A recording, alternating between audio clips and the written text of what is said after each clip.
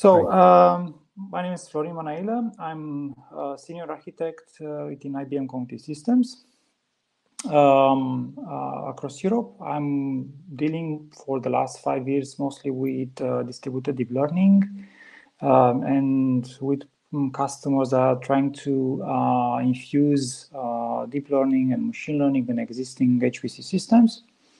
So um, during today's presentation, I will try to um, uh, show you the IBM uh, strategy of uh, infusing AI in uh, those uh, high-performance computing systems, and as well share with you some of my experience on my latest project um, project at MIT in US um, called Satori. Is the number four in Green 500 uh, and number one greenest air cool system in the world. So um, let's let's move here on the next slide. Okay.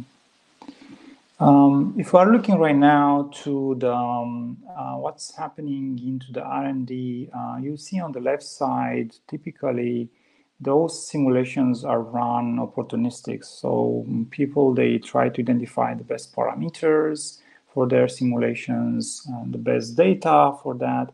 And they are running those simulations for hours, days, and weeks. And then uh, they are getting their experiments. So this is a normal process um, as of today. And this is a very consuming um, process, time consuming process, mostly from the perspective of the fact that you need to understand what parameters you're going to use. You, under, you need to understand where you're going to uh, look, uh, what kind of data you're going to incorporate in your experiments. Um, and many of the researchers they are looking for something like an advisor, someone that can you know say, well, maybe you should pick up those ingredients or those compounds in your simulations to find out the best uh, uh, the, the, best uh, simulation or the, to get the, much faster to uh, creating your own product.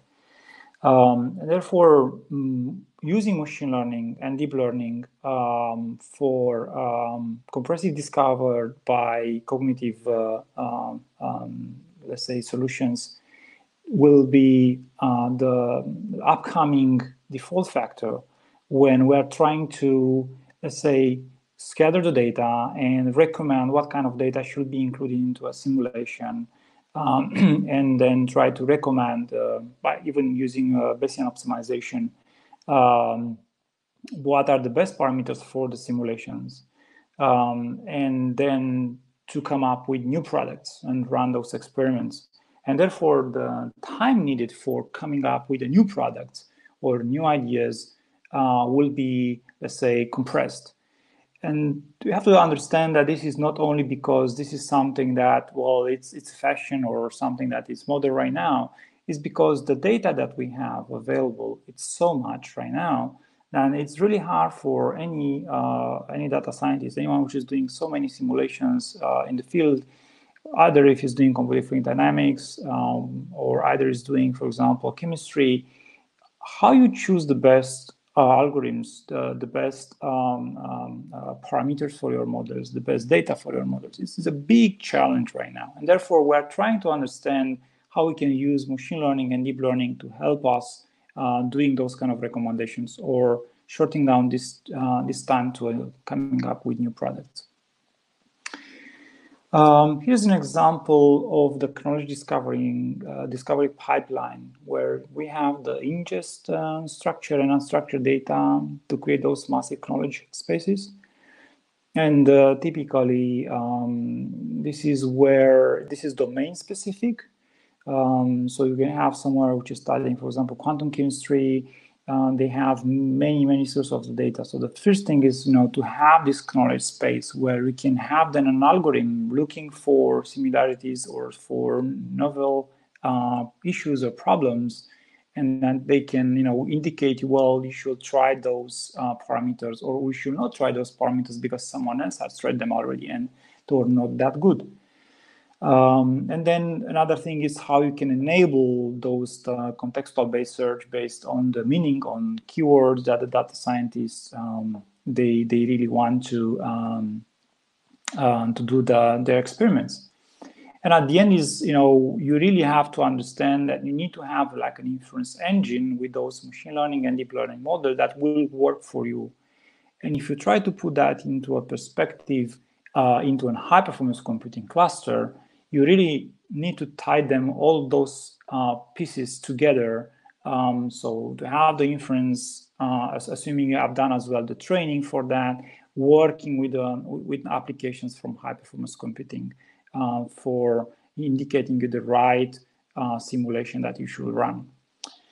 Um, so from that perspective, so far we had um, um, two kind of demands in on the infrastructure side. We had uh, training and high performance computing. Typically, the same systems are used for high performance computing and simulations and for training those uh, deep neural networks, uh, which are typically using equipment with uh, huge volumes of data, huge data sets in range of uh, hundreds of gigabytes uh, to terabytes uh, we need to have a lot of I/O for and, and uh, high bandwidth for two reasons. First of all, because we typically tend to use uh, raw data, so we need to process that, which is I/O intensive. And second is because then when you go and use GPUs like V100, 32 gigabytes of Voltas, or even in the future upcoming uh, Volta Next, the question is, you know, can you really feed those GPUs fast uh, from the data perspective? And therefore the I/O, which is has to happen on the uh, server, uh, on the storage as well, has to really um, uh, be focused for the high bandwidth, and obviously low latency to increase the GPU utilization. And then is the scalability, right? So how we scale. We know MPI, we know uh, all these techniques in HPC, we reuse them for the training. But when you move to the inference side, when you have trained your model to identify the compounds that you need for a specific thing, the question is, you know, how you package that inference, how you, uh, where you put that, on what kind of accelerators. Uh, the question are coming, you know, what will be the cost per watt or cost performance for this kind of inferences um, processes that we're going to run. And therefore, advanced I/O for minimal latency is actually the keyword um, for decent scalability or elastic scaling. So where you, we need to have a solution where you need to add more uh, models provision on more GPUs to scale up with your uh, requests per second, which is are make are make maybe maybe they can come from uh, simulations uh, or they maybe come from users trying to find the best um, the best parameters for the simulations. Uh, one of the question was, um, even for us, was the next generation of infrastructure stack, um, hardware and, and software to support this fusion of AI inside. And to really understand uh, what we need, we have to really understand this AI workflow, um, where typically people that are taking data from various data sources, they are preparing this data, uh, split them for training, testing, and validation as well. And this is taking a lot of time. And then they do training. Um, so the training can coexist very clearly in the same hardware infrastructure with simulations via the workload manager, either use uh, Slurm, either use LSF um, from IBM. The, the, they are working the same. Uh, the pattern, the IO pattern is a little bit different. But in general, this kind of uh, training will require either batch training or either online training where people they just fire up their Jupyter notebooks and they, they want to have that kind of interactive thing, which is something kind of new in HPC clusters right now. Um, so one of the questions how you deal with that kind of thing. And if you have finished your, let's say, uh, training, you have find the best hyperparameters, um, you know, by using various techniques there, you need, you have that model that you train it. Um, and then you actually want to put that uh, for inference and then to consume that. Um, and therefore, the question is how you can really adapt that because we know that the inference is actually online, uh, while the which is like a like a service that you serve always while the whole HPC systems, majority of them, they are oriented to the batch AI, right? So to the batch processes. Um, and one of the key uh, questions is, you know, how you can incorporate uh, this inference process in a, in a simple manner, how you can expose some APIs so they will be very easy to uh, be integrated with an existing um, HPC applications.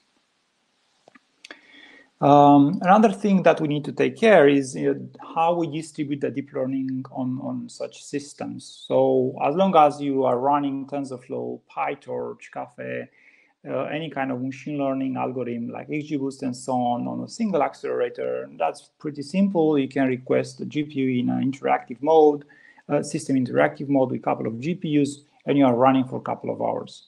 You can do the same for a batch process, but when it's about parallelizing your data or parallelizing your model across multiple accelerators, across multiple systems with those accelerators, the things are becoming a little bit more complicated. Because as long as you are having more complex models, then they will tend to scale more. Uh, then they will challenge more your uh, uh, IO infrastructure, storage distribution, uh, if you really want to keep up with higher GPU utilization and we lower um, uh, CO2 emissions. So carbon um, footprint, need to have a carbon footprint small from that perspective. Um, and even you may find use cases where the datasets are really quite small, but the models that they're running are very complex in training, and therefore they're really challenging the whole infrastructure from the from the network stack, uh, storage stack, and and system um, as well. Again, um, this is not about how you distribute your model. This is about as well how you're going to parallelize your data across multiple systems. And, and therefore, one of the key things is uh, here, uh, do we have something that can really understand uh, the topology, can really understand the number of accelerators we have, the type of the accelerators memory we use, and the number of systems and how those systems are interconnected. So we need kind of you know library that knows exactly this topology to distribute the data across the system. Um, and that's very important for a user perspective because as a data scientist really want to hook into a system, uh, you may consume some templates for batch or for online, but then you just want to run with your existing experience. As long as you are using Centric, you really have to take care on this. So uh, one of the things was how we can re-architect the hardware for AI, uh, starting from HPC uh, systems. So if you look on this uh, uh, drawing here, you have a typical architecture overview for a bare metal or Kubernetes-based HPC uh, system, where you have those compute nodes with accelerators in various pods, you have login nodes, service nodes, utility nodes serving the, the, the purpose of managing the system, updating, uh, exposing some services, and the infrastructure required to manage the InfiniBand, uh, the UFM nodes. And then you have the storage infrastructure, and you can run some as well additional servers for exposing or integrating with cloud object storage in the cloud or with other kind of uh, solutions. So that's something that typically we uh, we see and we have built so far um, uh, uh, like this. But when you are trying to really put as well the AI in perspective, you have to think as well for inference because you need to consume that. You don't only want to train. And typically, probably have seen that you you, you may train 100 uh, neural networks for various cases, but very, very few that really come up with, uh, on the production, so on an inference side. Um, and really, when you want to infuse those processes uh, as inference, as scoring uh, into the, the, the, existing workflow for simulations, you really need to have some dedicated compute nodes for inference. Uh, with uh, dedicated accelerators, either there are FPGAs like U50, U200, other are GPUs like NVIDIA T4 right now, or specialized ASICs like you know Habana Goya, for example. So all this kind of thing right now is really changing the perspective, not only because I have a new system which is dedicated for inference, but I need to manage it. I need to keep up with that kind of uh, uh, kind of stack. And one of the key question was for us, you know, if you look uh, on the right side, you have the, the typical paradigm for HPC and even for um, for deep learning where you have the CPU with large low uh, latency on the, uh, on left side, and then on the right side you have the accelerator with a small and high bandwidth memory. And it was like, you know, how we can actually hook this together and re-architect the system from the ground to really fast connecting them, right? Because the workloads are really either are GPU memory bound or are they a host memory bound. It really depends on the type of application, type of a neural network, and so on, so on. So starting from this, we have um, um, news uh, announced two years ago, the um, IBM Power uh, AC922 here in the middle for training and for high performance computing. Uh, using the NVIDIA V100 uh, GPUs, SMX2 form factor, um, from two, four, or six uh, GPUs per system. And this year, I think uh, two months ago, we announced the uh, IC922 um, that we uh, you see here for inference and for the data as well.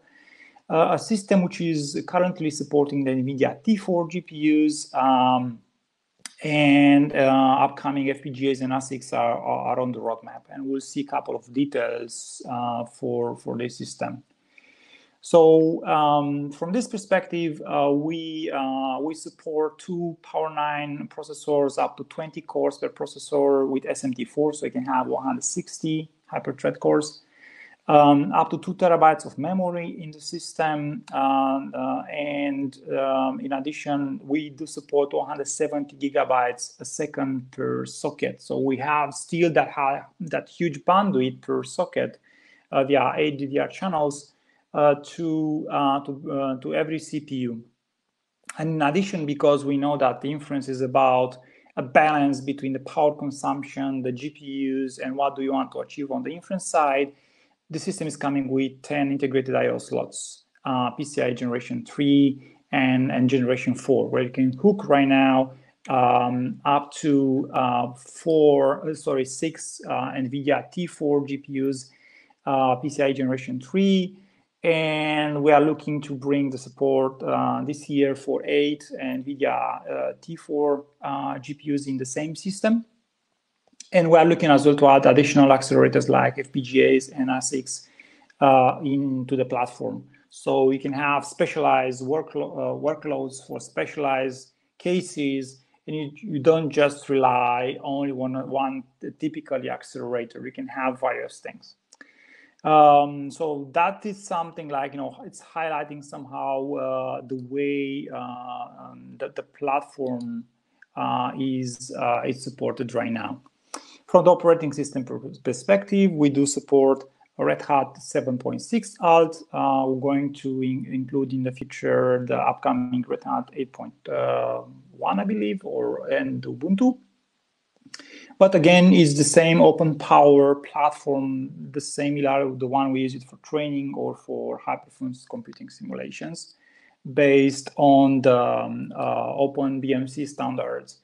Uh, and for the, the ones that the, the, you don't know here, we do support the management and, and via the uh, an ARM uh, processor, which is as on the base uh, on the BMC, we support Open BMC open um, software uh, Linux distribution to control the system. So you can even come up with your own uh, uh, innovation on top of it. Now, this is not enough. You need to look as well from the next generation software stack, how the users, they will consume this, especially when you have, you know, TensorFlow versions coming up at every two, three months, uh, Python versions, libraries, it's not really uncommon uh, for HPC workloads or for HPC clusters to manage so huge dynamic of the software. So when you consider that, you have to understand, you know, the data sources that you're going to handle. Because if you have data sets, for example, you use ImageNet to train pre-train your networks, that comes with 1.5 millions of images in just 600 gigabytes of, of the data sets, only for training and another 800,000 for testing. And the question is how you manage your, your storage, how you can configure your storage from that perspective to support that from the file systems perspective. This those number of uh, millions of uh, uh, uh files from the metadata perspective. And then you can, you know, extrapolate that to other kind of data sets. And then neural networks, you have to understand how those are deployed and then how those are training, consumed, and uh, obviously the impact on the computational side. So um, from the software stack, uh, always what we introduce for AI is those machine learning and deep learning libraries and frameworks, we understand we introduce uh, APIs for inference to consume them uh, in, in a cluster like this and to wrap them up into microservice applications uh, to interact with external services and HPC uh, uh, applications. And then we need to have also this governance AI, you know, fairness, explainable AI, model health, accuracy, um, where we have um, created a lot of things around in the last two years. Now, from this perspective, in the in the sake of time, I will uh, show you right now the Watson Machine Learning Community Edition. This is a software we uh, we ship with every system we have, but can be consumed on x86 as well. Um, and what we have done is that we have a collection of uh, frameworks and libraries, starting with TensorFlow, with all the estimators, probability serving. Uh, we do support 2.1 right now in the latest version and 1.15. Uh, we have PyTorch, Apex to, to use uh, the GPUs on the systems efficiently with a PyTorch, which is the NVIDIA implementation uh, of PyTorch for mixed precision. Um, we do uh, we do include all the libraries needed, for example, Magma to accelerate the math for the PyTorch on the GPUs. Um, and then uh, we come up with our solutions for machine learning like SnapML, uh, Dask, Rapids, everything are coming via Conda channel. So you can have them by just installing, uh, by doing a single command, Conda install Power AI, and you'll grab all this software together via Conda channel. What we do here, because there are huge dependencies between those frameworks and the libraries and NCCL drivers for scaling and cuDNN, uh, the, the primitives for that, we ship as well the CUDA uh, and those drivers together with those frameworks. So when you decide to install them, we bring them as additional Python packages into a user profile. And therefore, whenever you, and we actually create versions at every three months, we have a new version, we have even uh, early releases. So those are coming together. And that means of an HPC cluster will just have to maintain to the latest uh, GPU driver. They don't have to install the newer CUDA drivers because we ship them together with our platform. And whenever you, a user will create a virtual environment and will just consume the TensorFlow, we'll actually point to the NCCL or the cuDNN drivers we are shipping with the WMLC together. And that is a major improvement when you really want to consume all those things. Um, and um, I, I, have here an example when you try to extend that, right, from training to the inference. Uh, so training, you'll tend to tend on TensorFlow or in PyTorch. Uh, you may use, for example, uh, Rapids AI to you know just process the data much faster. Um, but at a certain point, you will uh, you you'll you'll train your network. You may save your network in the Open Neural Network Exchange, for example, and and then say, yeah, I have my neural network, and, and now I want to put that as an inference process to be consumed, um, like I mentioned in the beginning. And therefore, in that particular case, you need to go to the inference platform and execute them with the same software stack you have, with no changes there. Um, and one of the default choices which is out there is just to use, for example, TensorFlow serving server which just, you know, it, it's supporting TensorRT, it's supporting Open Neural, uh, Open Neural Network Exchange format, so you can even use uh, models from PyTorch if you export them from to uh, Open Neural Network Exchange format. And you can consume them in just a couple of minutes by exposing, requesting a node uh, for a specific number of hours, uh, or even if you want to node in a, uh, in a um, kind of interactive fashion, and immediately you can you can start either by using a Docker container, uh, those uh, APIs, you can have them by exposing the, the model you have trained. Uh, and this is with the same software stack, same experience, PowerPC, all those systems, or x86. Um, again, for whenever you want to consume an inference, we see a demand for packaging everything into containers. And therefore, the same software you can find as a bare metal uh, or by using, you know, we ship them via the Conda channels, but you can consume them as a, as a Docker containers if the workload manager really manage those kind of containers. So we have them on the Docker Hub. You can go uh, download them from there. Uh, various versions, uh, various options, individual containers or all-in-one containers that you can even customize it. Um, another thing that we do is uh, by moving more and more to the OpenShift. So uh, we are actually right now uh, in a process uh, with some customer that they are using bare metal HPC solution and, and deep learning to move them entirely to OpenShift. And when you do that, you need to go and, and just consume those universal base images, which are very interesting, especially in HPC environment, because you can really trust the layers inside. One of the problem in high performance computing right now, when you want to consume uh, um, uh, containers is who is building those containers? What are the needed rights to give them those containers? How I how do I maintain the latest updates on the containers and so on? Um, and therefore, there are many many challenges when you are trying to do that. But as we we're going to uh, include more and, and architecting more the OpenShift clusters for HPC and for AI. We're going to uh, move to universal base images uh, called UBIs. So if you go to um, Red Hat Access Catalog right now, you can really you know search for um, Watson Machine Learning Community Edition, and those containers are there.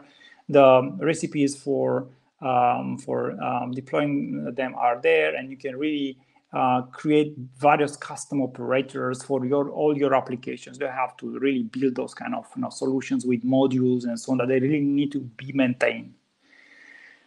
So um, I think um, from this perspective, it's something that we always try to understand in this rapid development where applications or frameworks or libraries are popping up at every couple of months, one month, two months, three months, and people, they want to consume the latest because they're offering various features and so on, which is a, putting a big stress on existing HPC administrators, clusters, and one of the things is how you can rethink the whole deployment of the system, the whole management of the system, how you can manage, um, let's say, the workloads in order to not some other people they should they are abusing the system. How you can manage the con- the containers that people are deploying. How you sh- are you are you sure that whatever they are running is in your kernel or the base system and is not separated. Another thing that we are looking is to, for people that are using containers, is to have a con Docker container with the drivers and all the other containers. They will need to, they will not need to have the drivers. So the CUDA drivers, and when you have them uh, deploy them, you can deploy them in pairs uh, with operators. So many many things are happening right now just to understand how at scale you can really sustain both words, HPC and AI, in, in the easiest fashion with a user-centric view. Uh, because it's very simple to come up with a solution and say, hey, you know, you just have to use and consume the way those services they are. But the question is, are going to be successful or not when you do that? Um, so this is something that we uh, we are have done so, uh, lately, and we're going to see more announcements from IBM in the direction of the Bayesian optimizations, helping a lot of HPC uh, workloads um, across the world. Um, yeah, so uh, I think uh, I'm open for any questions if there are in audience. Um, if if not, I will be anyhow available after after that. Okay, thank you very much for, for presentation. That's very, very interesting to learn what is happening in the industrial, in the leading labs of uh, major vendors. And of course, IBM is, is uh, such a vendor. Uh, Thank you for invitation as well and for uh, opportunity to present here. Um, and as well, thank you for our uh, uh, Open Power leader enabling us to be here today let's keep in touch. And uh, yeah, I'm open for any other kind of discussions. Yeah, perhaps there are questions. Uh, are, yeah. Do we have any questions from the audience? I can't see anything. So perhaps I will ask you one question, Florian. Could you elaborate on those uh, interconnect? So how do you, inter- if, maybe you repeat it. How do you interconnect? Uh, uh, what, what, technology do you use to, to interconnect nodes? Uh, across the nodes and also between nodes and the, and the GPU, CPU. Mm-hmm. Um, so for interconnecting the compute nodes, currently we do prefer InfiniBand. Um, and the reason is, especially when you do deep learning for complex models, we have seen measuring uh, even the power consumption a very big impact of uh, uh, latency. So when you have complex models, they will tend to uh, the uh, neural network model with many many GPUs, uh, that, which is complex with many layers. It will tend to have a big and huge exchange of parameters because your parameters will go to a couple of millions or maybe a billion of parameters. And when you train a neural network, that will really you know, be down to the network. So as long as the GPUs will be interconnected from the latency perspective, very, very fast, we're speaking about, you know, microseconds. Uh, so we're speaking about here about RDMA uh, protocol over InfiniBand. Uh, the network will perform better when you are training and right. therefore lower power consumption and lower CO2. I just published a document about uh, implication of the uh, CO2 emissions when you train neural networks on those platforms. That's the first point. So we see as well the HDR uh, connectivity coming uh, and so on. And this is presenting somehow a challenge when you're looking on the containerized environment. So um, from the security perspective and so on, which is somehow manageable, manageable right now with uh, if you want use Singularity, or for example, uh, if you package with uh, OpenShift. In the in the node on the node perspective, we see uh, one trend right now. We see people looking to adopt um, uh, PCI generation uh, five, generation six on that kind of time frame. So the accelerators that should, should come, they should come with PCI generation five uh, and a new interconnect um, that will make uh, the accelerators coherent with the system memory. So um, from universal standpoint of view, we I personally see more uh, pe people moving away from NVLink interconnect between the CPU and the GPU. Okay, thank you. We have one question here uh, from Benson. Yeah. Can you can you see it, Florian? Uh, one second to stop the sharing this. Uh, no, I cannot see it. Um, okay, so I can read the question. Are yeah. you going to add accelerators from other vendors than NVIDIA? Uh, the answer is yes. We're going to add accelerators from uh, um, which are FPGAs and, and ASICs um, starting from this year. And the reason is because we see demands for other kind of workloads, especially in HPC, where people they they want to see other kind of uh, things, and for inference perspective. So when you are looking for inference perspective, there are uh, some particular use cases where uh, FPGAs are performing much better. So uh, yes, we are looking to bring that as new capabilities in our AC922 system.